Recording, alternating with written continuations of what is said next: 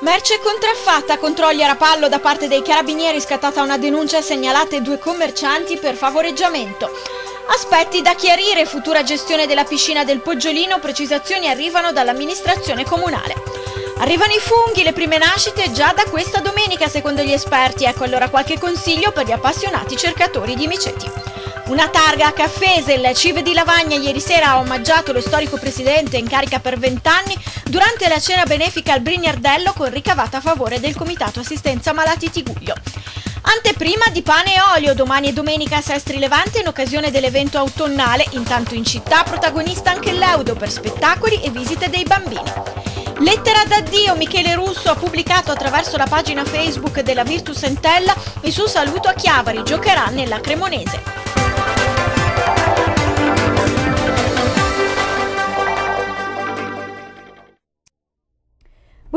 Telespettatori del TG Tiguglio, dunque la cronaca in primo piano, incominciamo con i controlli da parte delle forze dell'ordine, in particolar modo dei carabinieri della stazione di Rapallo contro la merce contraffatta. Vediamo. Questa mattina Rapallo e i carabinieri di Santa Margherita Ligure, Rapallo e Portofino nel corso di un servizio mirato hanno denunciato per commercio di prodotti con segni mendaci e ricettazione e per inosservanza del provvedimento del divieto di ritorno in città per tre anni un senegalese di 54 anni con precedenti di polizia. L'uomo è stato trovato in possesso di alcune borse con il marchio contraffatto. Durante lo stesso contesto sono stati altresì denunciati per favoreggiamento personale due donne commercianti rapallesi, poiché permettevano allo straniero di occultare la merce contraffatta presso il loro negozio, allo scopo di eludere così i controlli dei militari. Principio di incendio di un autobus in A12 nel tratto di autostrada tra Lavagna e Sestri Levante in una piazzola. L'allarme è scattato intorno alle 16.30. Sul posto sono rapidamente intervenuti i vigili del fuoco di Chiavari. Attimi di panico, ma tutto si è risolto senza feriti. Pare ci sia stato un guasto al motore. E incidente nel pomeriggio di oggi a Chiavari in via Santa Chiara. Una donna è stata estratta da una vettura dai vigili del fuoco. Traffico in tilt, due le auto coinvolte, sul posto anche il servizio 118 che per le stesse modalità è intervenuto anche in Fontana Buona, in località Pian dei Ratti nel comune di Orero dove ci sono stati tre feriti lievi a seguito di uno scontro tra due macchine portati al pronto soccorso di Lavagna. Aspetti da chiarire per la futura gestione della piscina del Poggiolino. Siamo a Rapallo, le precisazioni arrivano dall'amministrazione comunale. Sentiamo.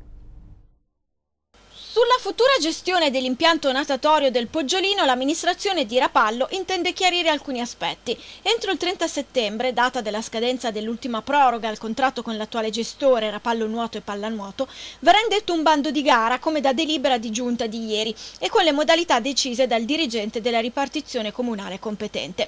A prescindere da chi si aggiudicherà la gara, dovrà essere garantito alla Rapallo Nuoto e Pallanuoto lo svolgimento della stagione agonistica attraverso l'inserimento nel bando di un passaggio che contempli la necessità di avere a disposizione per la prossima stagione spazi acquei per allenamenti, partite di campionato ed eventualmente per ottemperare ad altri impegni precedentemente assunti. A tal proposito è previsto nei prossimi giorni proprio un incontro specifico tra amministrazione comunale e dirigenti. A fronte del protarsi di proroghe imputabili anche alla precedente amministrazione, abbiamo deciso di agire nel pieno della legalità e della trasparenza, indicendo una gara per l'affidamento dell'impianto natatorio, integra il vice sindaco Pier Giorgio Brigati. Questa scelta ci è sembrata l'unica strada percorribile per garantire il rispetto della legalità e il regolare svolgimento della stagione agonistica 2015-2016. Ancora cronaca, due allevatori conviventi e residenti in Val Brevenna hanno sporto denuncia ai carabinieri di Casarza Ligure nei confronti di una donna di 38 anni del comune della Val Petronio. A seguito di un dissidio riconducibile ad accordi sull'accoppiamento dei rispettivi animali, la donna telefonicamente ha minacciato i due accusandoli inoltre di averle sottratto un cucciolo nato dal precedente accoppiamento. La signora è stata denunciata per minacce ed ingiurie. E arrivano i eh, funghi, prime nascite secondo gli esperti già da questa domenica. Vediamo allora qualche consiglio e anche qualche accorgimento. Appassionati cercatori di funghi, sta per arrivare il vostro momento. Le prime nascite, secondo gli esperti, si vedranno comparire nei castagni probabilmente già da questa domenica, anche se è possibile qualche giorno di ritardo vista la siccità, mentre nei faggi si dovrà attendere 10-15 giorni dalla pioggia più significativa caduta tra il 14 e il 16 agosto. Con i funghi però il condizionale d'obbligo perché ogni pur minimo imprevisto può ritardare o annullare la formazione delle muffe e la conseguente nascita dei miceti. Ricercare funghi dalle nostre parti è diventata una tradizione. In molti si cimentano in questo passatempo che però richiede buona conoscenza delle specie commestibili e i regolamenti per la raccolta. Proprio come primo punto occorre conoscere se quel tale bosco ricade all'interno di un consorzio comunale o se invece un bosco è libero, spiega Umberto Righi, vigilanza Fipsas Levante. Sarà distinguibile da una serie di tabelle solitamente poste ai margini delle strade dove sarà riportata l'indicazione proprietà privata, il nome del consorzio consorzio la raccolta dei prodotti del sottobosco riservata ai soci o possessori di permesso. Il costo giornaliero si aggira tra gli 8 e i 10 euro, mentre lo stagionale supera mediamente i 150 euro. Occorre conoscere anche i giorni dove la raccolta dei funghi è consentita e anche la stagione di inizio e fine raccolta. Oltre al permesso, quando si va per funghi si devono osservare le quantità di raccolta per giornata, ribadisce Righi, che non possono superare il massimo di 3 kg anche nei boschi liberi. Inoltre i funghi vanno trasportati e riposti in contenitori forati, l'ottimo sono i cestini di vimini, che essendo rigidi preservano i funghi da rotture pur lasciando libera la diffusione delle spore. Assolutamente vietato l'utilizzo di zaini e borse di plastica stagne. Sono previste sanzioni da 50 a 100 euro e sequestro del raccolto sia nei boschi gestiti dai consorzi sia nel demanio e sia nei boschi liberi e che non sono previste deroghe. La notte scorsa i carabinieri di Santa Margherita Ligure hanno denunciato per guida in stato di ebbrezza accertato mediante l'etilometro un 19enne ecuadoriano, studente di Genova e un 26enne milanese. I due sono stati sorpresi rispettivamente alla guida di un veicolo e di un motociclo. Le patenti sono state ritirate. Il CIV di Lavagna ieri sera ha omaggiato lo storico presidente dei commercianti in carica per vent'anni, Nico Caffese, durante la cena di beneficenza al porticato Brignardello. Vediamo. Specialità tipiche assaporate in una cornice d'eccezione, il porticato Brignardello. È andata in scena ieri sera la cena benefica dei commercianti di Lavagna. La manifestazione, che ha sempre un risvolto benefico, è stata molto partecipata anche quest'anno. Il ricavato andrà a favore del Comitato Assistenza Malati Tiguglio. L'abbiamo già detto, è in tela tv, servirà per l'acquisto contribuirà perché non serve, costa 100.000 euro questo letto robotizzato che vogliamo comprare contribuirà all'acquisto di questo letto che serve per i malati colpiti da ictus e per tutti quei malati che non riescono a mantenere la posizione retta. La serata devo dire che sta scorrendo piacevole, probabilmente la motivazione che lega diciamo, questa cena è talmente meritevole che le persone sono accorse numerose e devo dire che il risultato è veramente sopra ogni attesa. Porticato Brignardello è un fiore all'occhiale della nostra città, quindi mangiare qua sotto penso che sia qualcosa di completamente diverso rispetto a qualche, qualsiasi altro posto della nostra bellissima cittadina. Il menù questa sera, eh, grazie a tutti i negozi di alimentari e non solo, ma anche volontari che hanno offerto di propria tasca e col proprio lavoro, è composto da un flan di zucchine, salumi, focaccetta, lasagne cotte al forno con eh, ragù, lasado, insalatina e pomodori della nostra piana e le dolcezze di lavagna offerte da tutte le pasticcerie. Durante la serata i commercianti hanno anche consegnato una targa a Nico Caffese, storico presidente delle CIV, alla guida del consorzio per vent'anni, per la sua passione ed il suo impegno a favore della città di Lavagna e del commercio. Intanto l'estate sta giungendo al termine, commercianti e comuni stilano un primo bilancio degli eventi realizzati fin qui. Sono veramente contenta questa sera di vedere tanti commercianti come tutti gli anni all'opera per una serata come al solito ben riuscita. E la settimana prossima si concluderà la stagione estiva con il Gran Galà. Quest'anno hanno veramente dato il meglio di sé. Siamo contentissimi onorati. Lavagna è viva eventi musica, torta dei fieschi, gran successo, sono contentissima, grazie.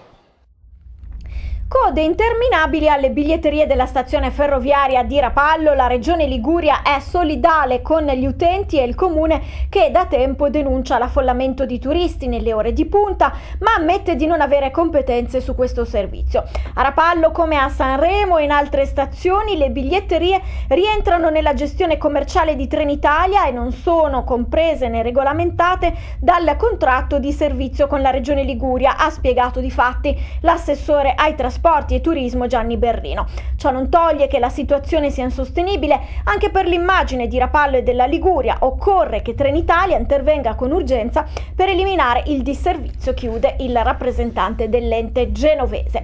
E adesso invece parliamo di bando per la scuola, dopo quello che parte proprio dalla regione Liguria arriva direttamente un sostegno anche dal comune di Sestri Levante. Sentiamo.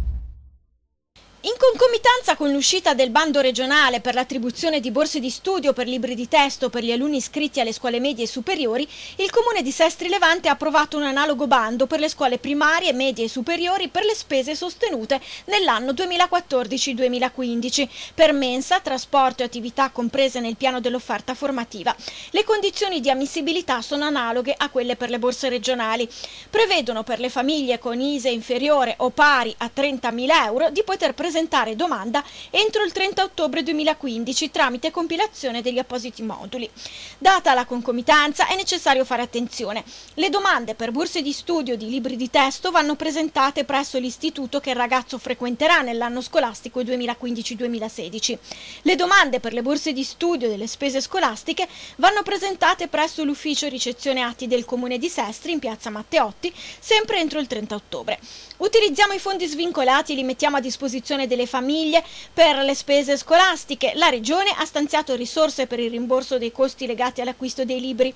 Con l'apertura di questo bando diamo la possibilità di continuare ad ottenere un contributo anche per altri costi che vengono affrontati dai genitori, ha detto l'assessore ai servizi sociali Lucia Pinasco.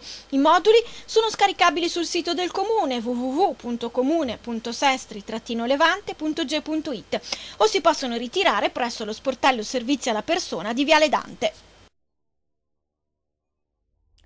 Si inaugura domani mattina la 31esima edizione di Expo Fontana Buona Tiguglio con una cerimonia di apertura che vede la partecipazione di un vasto parterre di autorità. Dopo il saluto della presidente del GAL genovese Marisa Bacigalupo seguiranno quelli del sindaco di San Colombano Certenoli Giovanni Solari, dell'assessore regionale allo sviluppo dell'entroterra Stefano Mai, del consigliere della città metropolitana Giovanni Vassallo, del vescovo della diocesi di Chiavari Monsignor Alberto Tanasini.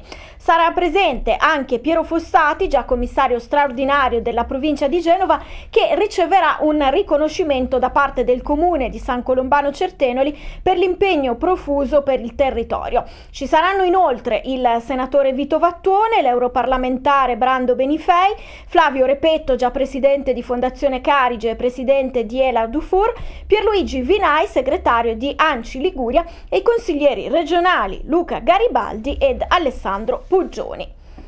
Domani si terrà un presidio a Lavagna in piazza Vittorio Veneto, angolo via Roma, per proseguire con la raccolta firme degli otto quesiti sui quattro temi referendari proposti dall'Associazione Possibile, promossi tra gli altri dagli onorevoli Luca Pastorino e Giuseppe Civati. Si tratta della riforma elettorale, Italicom, Jobex, eh, i grandi opere, Sblocca Italia, riforma della scuola. I cittadini che vorranno sottoscrivere i quesiti dovranno recarsi al banchetto dalle 9.30 alle 12.30 muniti di documento di identità.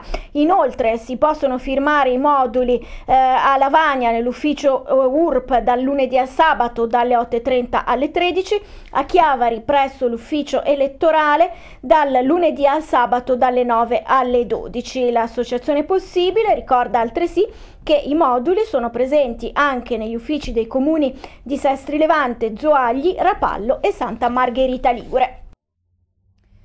Olio protagonista insieme ad altre eccellenze della nostra gastronomia domani e domenica a Sestri Levante. Sentiamo il programma. Domani e domenica la città di Sestri Levante accoglie Aspettando Pane e Olio 2015, gustosa anteprima delle iniziative che animeranno l'evento autunnale. La manifestazione promossa dal Comune in collaborazione con le associazioni Marine Italy, la Compagnia dei Sapori, Totem Eventi. Scatta dunque domani il mercatino degli olivicoltori sestresi che si terrà in via Asilo Maria Teresa dalle 10 alle 21. Laboratori e dimostrazioni di cucina caratterizzeranno le due giornate in Baia del Silenzio nell'ex convento dell'Annunziata dove hanno sede le vetrine vetrine delle produzioni agroalimentari di qualità e lo shop di prodotti tipici. Gli appuntamenti presso l'ex convento dell'Annunziata proseguono domenica dalle 18 con lo show cooking Il pesce nasce in mare e muore nell'olio, spettacolo di cucina a cura dello chef Alessandro Dentone. Ricordiamo che per la seconda volta l'evento si freggerà del marchio Anci per Expo, nell'ottica di valorizzazione sia delle produzioni enogastronomiche locali sia di quelle nazionali, domani e domenica dalle 10 alle 22 in piazza Matteotti ci ci sarà una mostra mercato di prodotti di eccellenze ligure ed italiane. Cambiamo decisamente argomento, andiamo a Carasco a presentare un'interpellanza urgente sul gruppo VAB Protezione Civile. È il capogruppo di Centro per Carasco, Alfredo Rivara, che eh, mette in evidenza l'importanza di questo gruppo e dice in considerazione del fatto che siamo venuti a conoscenza delle dimissioni di tutto il gruppo VAB, tranne uno o due volontari, chiediamo le motivazioni per le quali quali l'amministrazione comunale non ci ha messo al corrente di tale avvenimento ed inoltre chiediamo al sindaco e all'amministrazione come intenda procedere per far fronte alle problematiche relative al territorio in considerazione del fatto che si avvicina l'autunno, stagione notoriamente foriera di eventi calamitosi e il comune in caso di allerta risulta scoperto dal gruppo di protezione civile. E adesso invece parliamo di visite decisamente speciali che in questi ultimi giorni stanno interessando il Leudo di Sestri Levante e questo è possibile grazie alla collaborazione tra l'associazione del Leudo, le scuole e la capitaneria. Vediamo. Amici dell'Eudo, l'ufficio marittimo di Sestri Levante e le scuole. Tra queste realtà è iniziata una particolare collaborazione che ha permesso quest'estate di effettuare diverse visite guidate, a partire dai piccoli che frequentano la materna di San Bartolomeo fino ai bambini del centro estivo comunale, compresi i ragazzi di Chernobyl, ospiti anche quest'anno presso le famiglie del Tiguglio per il mese di agosto. I soci dell'associazione Amici dell'Eudo hanno raccontato la loro storia, la storia dell'imbarcazione, la sua importanza storica e hanno fatto visitare Leudo stesso, ormeggiato al molo di Sestri Levante. Tutto questo è stato possibile grazie alla collaborazione con la Locamare, con il capo Francesco Colella, che ha concordato il luogo dell'attracco ed una posizione favorevole alla salita dei bambini. E rimaniamo a Sestri Levante, rimaniamo proprio in questa zona della città perché ieri sera al Molo Adua Lilien canta sul Leudo dal porto eh, della località dei Due Mari questo spettacolo, un assaggio in questo servizio.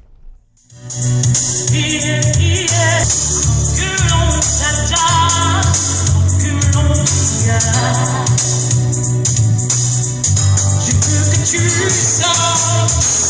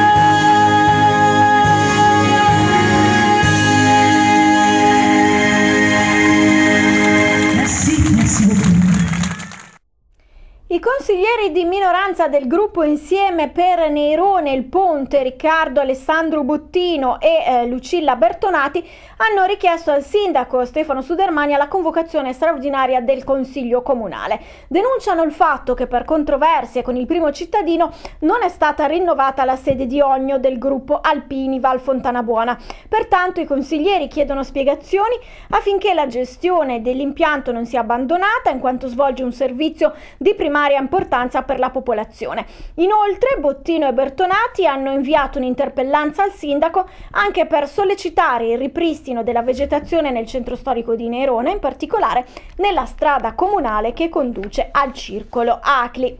Siamo allo sport, calcio all'indomani della riammissione della Virtus Entella in Serie B, il difensore Michele Russo annuncia ufficialmente il suo passaggio alla Cremonese e scrive una lettera di saluti a Chiavari e alla sua ormai ex squadra. Vediamo. Michele Russo ha ufficialmente lasciato la Virtus Entella per la Cremonese e oggi è stata pubblicata attraverso la pagina Facebook del club di Via Gastaldi una lettera indirizzata proprio alla sua ormai ex squadra. Amici, da oggi per me si apre una nuova avventura professionale, inizia così la lettera di Russo. Una sfida stimolante che ho deciso di cogliere spinto dalla mia grande ambizione e dalla voglia di mettermi sempre in gioco. Finisce così quella che finora è stata l'esperienza più bella, entusiasmante e appagante della mia carriera, resa ancora più speciale dal fatto che ho avuto il privilegio di condividerla con voi nella nostra città. Questo senz'altro non è un addio ma un arrivederci. Seguirò la Vetro Sentella da tifoso e tornerò a Chiavari ogni volta che mi sarà possibile, prosegue Russo. Riavvolgendo nella mente le immagini di questi quattro anni è impossibile per me non commuovermi ripensando alla sfida di Casale della mia prima stagione in biancoceleste che ci ha permesso di centrare la finale playoff eh, all'ultimo secondo. O i gol dedicati ai miei figli a pochi giorni dalla notizia che mia moglie fosse in dolce attesa, senza dimenticare ovviamente la storica promozione in Serie B, ricordi che porterò sempre con me e che mi hanno permesso di diventare il professionista e l'uomo che sono oggi. Parto con grandi aspettative, voglia e fame, ma anche con un po' di malinconia. Un grazie speciale, conclude Russo, lo dedico agli allenatori, a tutti dello staff tecnico, oltre che ai medici e alla società, ma soprattutto ai ragazzi e agli uomini che in questi quattro anni hanno fatto parte dello spogliatoio biancoceleste. Vi abbraccio tutti, a presto. Proseguono in Fontana Buona a Lumarzo i festeggiamenti dedicati a Frank Sinatra, in particolare domani alle 18.30 nei pressi della chiesetta di Rossi, costruita nel 1600 dai contadini del posto, a poche decine di metri dalla casa della mamma di eh, Sinatra, Natalina Garaventa, è in programma un recital del giovane cantautore Gioacchino Costa. Inoltre si potrà vedere una mostra di libri, fotografie, soprammobili e arredi vecchi di un secolo. E così ci salutiamo, grazie per essere rimasti con noi anche questa sera. Io adesso vi lascio al meteo, alla programmazione della rete. Vi ricordo che come sempre potete rivedere in replica questa edizione del nostro TG alle 20.20 20 sul canale 117 Tiguglio TV. Trovate poi le notizie sul sito www.intellatv.net, sulla nostra pagina Facebook, su Twitter e trovate il TG Tiguglio anche sul canale YouTube. La nuova edizione domani alle 12.45. Una buona serata in compagnia dei nostri programmi.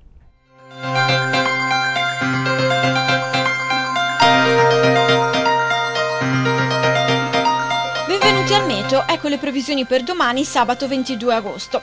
Giornata caratterizzata da tempo tra poco irregolarmente nuvoloso, disturbata da qualche passaggio più consistente in mattinata, in particolare sul ponente.